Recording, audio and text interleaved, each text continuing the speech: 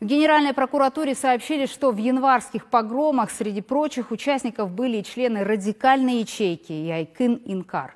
Эта организация запрещена во многих странах и признана экстремистской.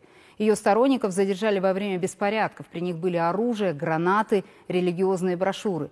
Что это за ячейка? Каким принципам следуют ее сторонники? Расскажет Нургали Сабитов. Казахстанские правоохранители продолжают задерживать причастных к массовым погромам и беспорядкам. Сегодня стало известно, что среди них были и члены экстремистской организации Якын Инкар. Радикалы сильно выделялись из толпы. Сейчас по ним ведутся уголовные дела. Название Яхын Инкар в переводе с арабского означает «отрицание всего, кроме Бога». Его последователи, по их убеждению, пытаются жить как во времена пророка Мухаммеда. Носят длинные волосы и традиционную арабскую одежду, ходят пешком, отказываются практически от всех современных технических достижений. По словам религиоведа Елнара Берегбаева, Якин Инкар является крылом другой запрещенной террористической организации Таблиги Джамаат. Ее действия признали экстремистскими еще в 2013 году, а в 2018 и само ответвление. И на это были причины. Про деятельность э, э, Якин Инкар известно нам из истории э, той экстремистской активности, которую они проявляли на территории, Кирги... на территории Киргизии.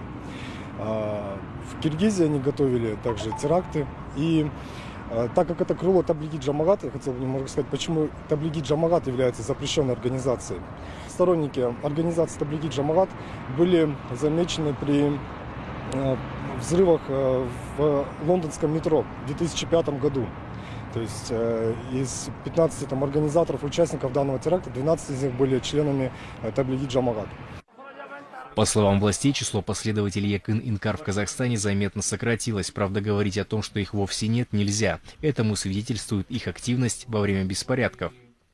Можно сказать, спящие ячейки, которые ждут вот самого такого подходящего момента. И мы видим, да, вот в этих январских, э, в январских событиях они проявили себя. То есть э, дальнейшая любая дестабилизация ситуации э, в стране, она именно опасна тем, что такие радикальные ячейки, они берутся за фазу своих активных действий. Участвовали ли другие террористические организации в массовых беспорядках, пока не ясно. Известно только то, что по факту терроризма расследуется 45 уголовных дел. Ругали Сабитов, Ренат Аблухаиров, Информбюро, Алматы.